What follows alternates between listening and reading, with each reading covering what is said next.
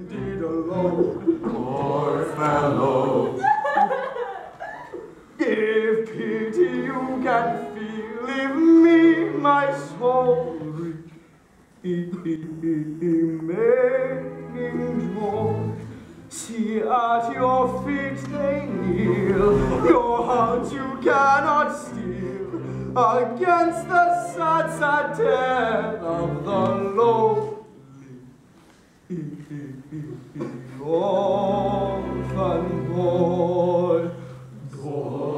fellow, see at our feet they kneel, our hearts we cannot steal.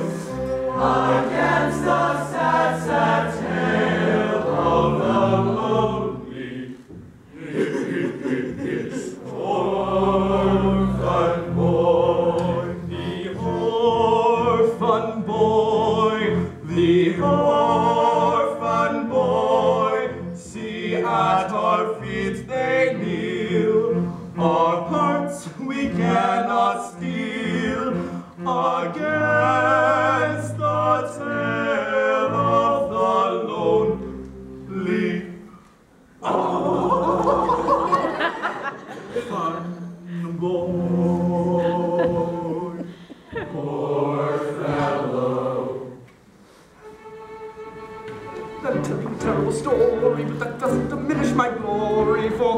taken my daughters over the billowy waters.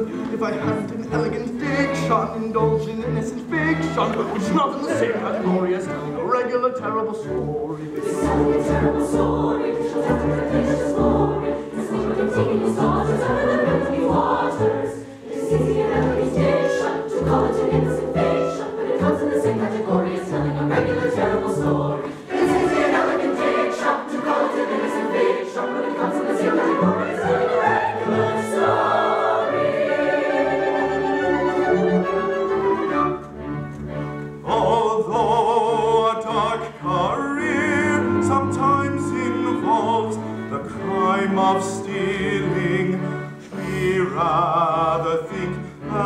here not altogether void of feeling. Although we live by strife, we're always sorry.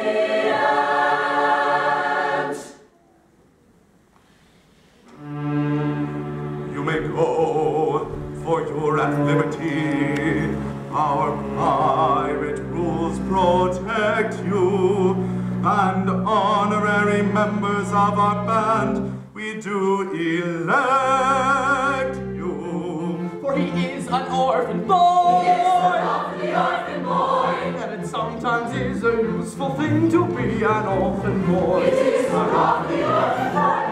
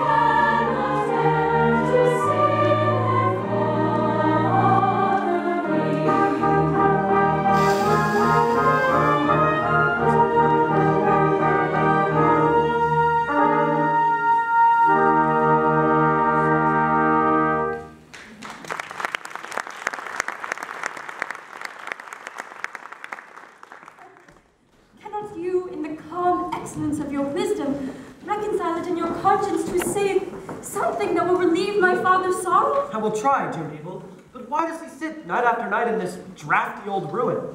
Why do I sit here? To escape the pirates' clutches! I describe myself as an orphan, and God help me, I am no orphan. I came here to humble myself before the tombs of my ancestors and to implore their pardon for having brought dishonor upon the family escutcheon. But, sir, you forget. You bought the property but a year ago, and the stucco on the baronial castle is scarcely dry. Frederick, in this chapel are ancestors. You cannot deny that. With the estate, I bought the chapel and its contents. I do not know whose ancestors they were, but I know whose ancestors they are. And I shudder to think that their descendant by purchase if I may so describe myself, should have brought dishonor upon the family of escutcheon. Oh, be comforted. Had you not acted as you did, those reckless men surely would have rounded up the nearest clergyman and married your large family on the spot. I thank you for your proffered solace, Frederick, but it is unavailing.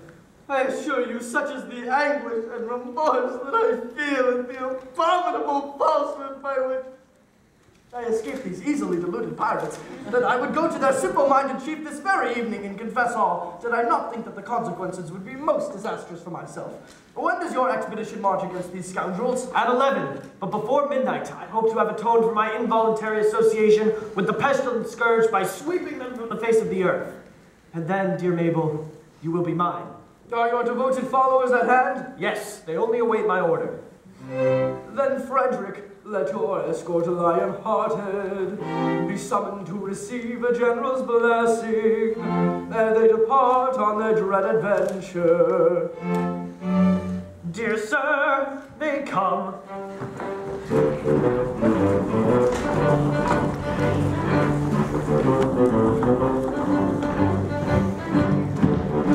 When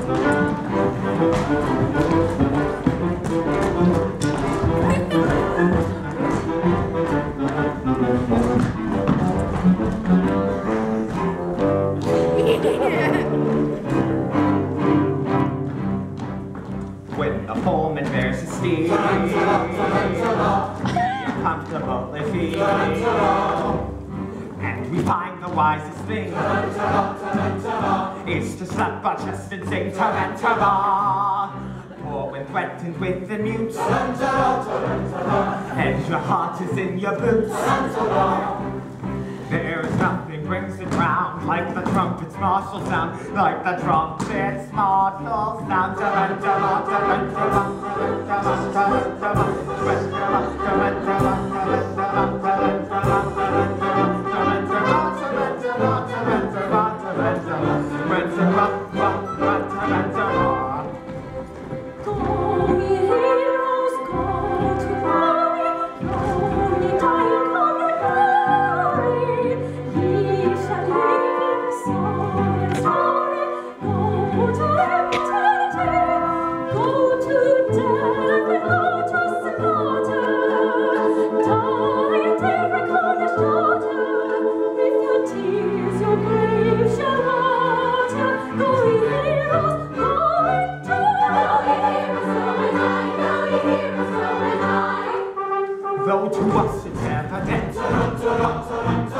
These attentions are for meant Such expressions don't appear.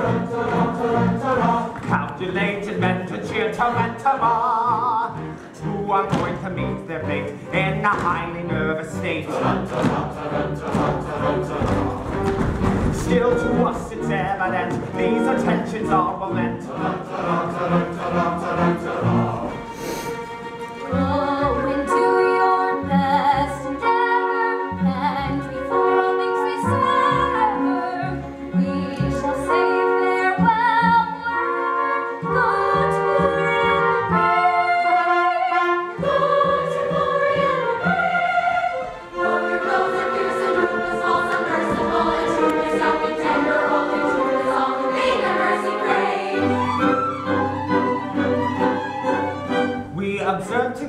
distress on the wrist that on us press, and a reference to a chance of coming back. Still, perhaps it would be wise not to harp or criticize, for it's very evident these attentions are well meant. Yes, it's very evident.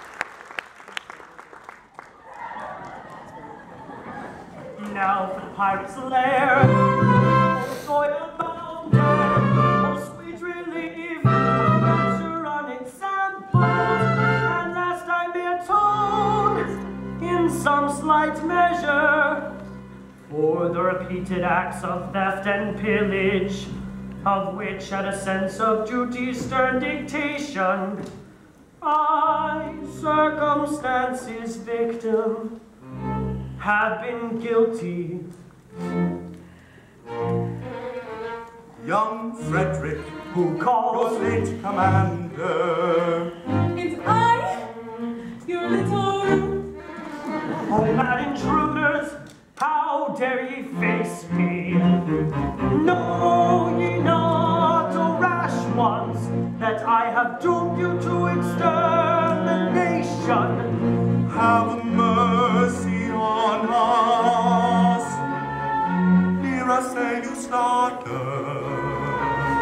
I do not think I ought to listen to you.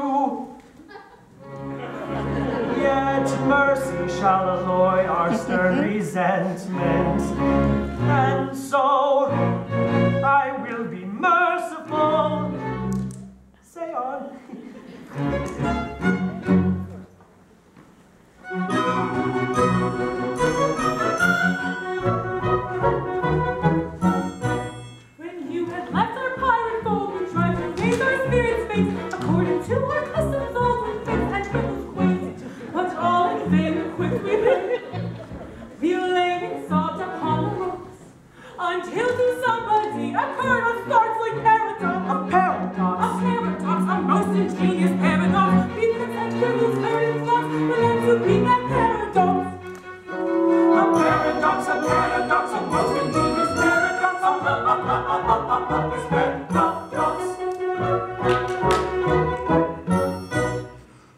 your taste for curious grips, for cranks and contradictions clear, and with the laughter on our lips, we wished you there to hear. We said if we could tell it him, how Frederick would the joke enjoy. And so we've risked both life and limb to tell it to our boy. That paradox. That paradox, that most ingenious paradox. We quips and quibbles heard and flocks, none to beat this paradox. A paradox, a paradox, a most ingenious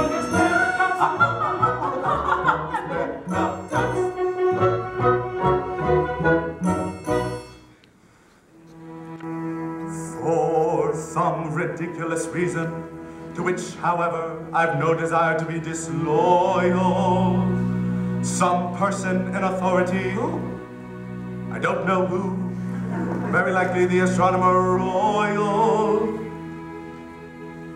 has decided that although yet for such a beastly month as February, 28 days as a rule are plenty, one year in every four, his days shall be reckoned as nine and twenty. By some singular coincidence, I should not be surprised if it were owing to the agency of an ill-natured fairy. You are the victim of this clumsy arrangement, having been born in leap year on the 29th of February. And so, by a simple arithmetical process, you'll, e- you'll easily discover that though 21 years you've lived yet, you're only five and a little bit over.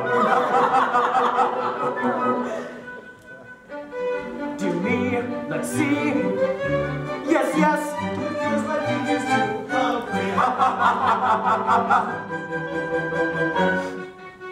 How quaint the ways of paradox. At common sense she gaily mocks. No counting in the usual way. Here's 21, I've been alive. Yet reckoning by my natal day. Yet reckoning by my natal day. I am a little boy of five. Here's the little boy of five.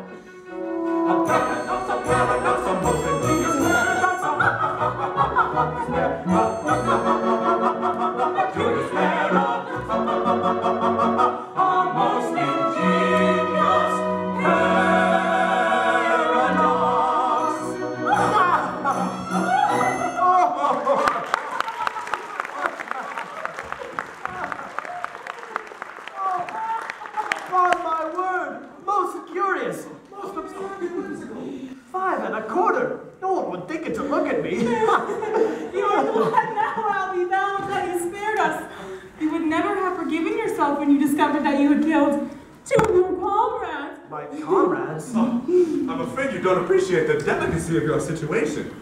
You were apprenticed to us. Until I reached my 21st year. Oh, no, no, no, no, no. Until you reach your 21st birthday. And if we're going by birthdays, you're only but five and a little bit over. Oh, don't tell me you're going to hold me to that. Oh, no. We merely remind you of the fact and leave the rest to your sense of duty. Your sense of duty. Oh, don't put it on that footing. Just as I was merciful to you now, be merciful to me. I implore you not to insist on that letter of our bond, just as the cup of happiness has reached my lips. Oh, we insist on nothing. We content ourselves with pointing out to you uh, your duty. Your duty. But, but I, don't I... Oh. Well, you have appealed to my sense of duty. and My duty is all too clear. I abhor your infamous calling. I shudder at the thought that I had ever been mixed up with it. But my duty is before all. At any cost, I will do my duty. Aha, bravely spoken. Come, you are one of us once more. Lead on! I follow! oh, horror! What is the matter? Ought I to tell you? No, I can't. No, but as a member of your band, Ah, speak up. I charge you by that sense of conscientiousness to which we have not yet appealed in vain. General Stanley, Yes? the father of my Mabel, Yes, he yes. escaped from you on plea he was an orphan. He did. Well, it breaks my heart to betray the honored father of the girl I adore. But, as your apprentice, I have no alternative. It is my bounden duty to inform you that General Stanley is no orphan. What? And worse than that, he never was one. Oh, am I to understand that to save his contemptible life, he dared to practice on our credulous simplicity? Ooh, our revenge shall be swift and terrible. We will gather our band and attack Tremorden Castle this very night. Oh, but stay. Not a word. He is doomed. Away, away, my heart's on fire. I burn this base deception to repay. This very night, My vengeance dire shall glut itself ignore. away, away. Away, away, ere I expire, I find my duty hard to do today. My soul is filled with anguish dire, it strikes me to the core, away, away. With falsehood foul he tricked us all our lives. Then vengeance how the blind so decides. Our nature stern he softened with his lies. And in return tonight the traitor dies. Yes, yes, tonight the traitor dies. Yes, yes, tonight the traitor dies. Early tomorrow. These girls like flies, They were welcome in sorrow. The once a To spot. their nature they cherish. and all the blood. To abuse it shall perish. Because it's early tomorrow. These girls like flies, shall wonder in sorrow. No once a fun in natures they cherish. And all who want to abuse it shall perish. Away, away, away.